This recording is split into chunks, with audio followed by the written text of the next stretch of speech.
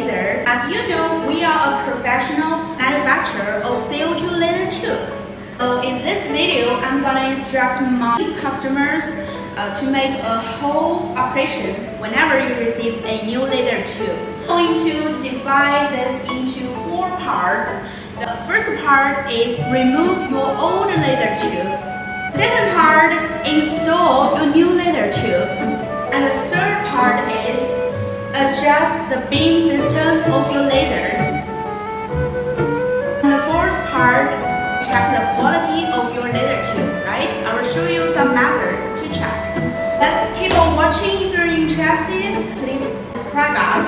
Okay, the first part, remove your old laser tube. Behind me is an engraving machine which brand is Eagle. Uh, the model of the machine is X7050. It's a little engraving machine. And Eagle is our heavy customer. This, uh, this style of the machine is so popular in any kind of countries. Okay, so let's go into the first part. Remove your old laser tube.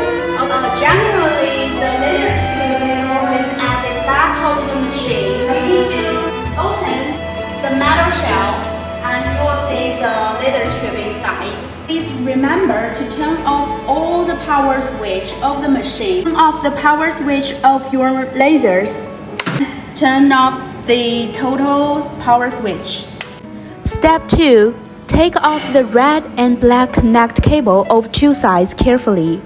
First, take off the high voltage cap and take off the anode terminal cable and then take off the anode terminal cable.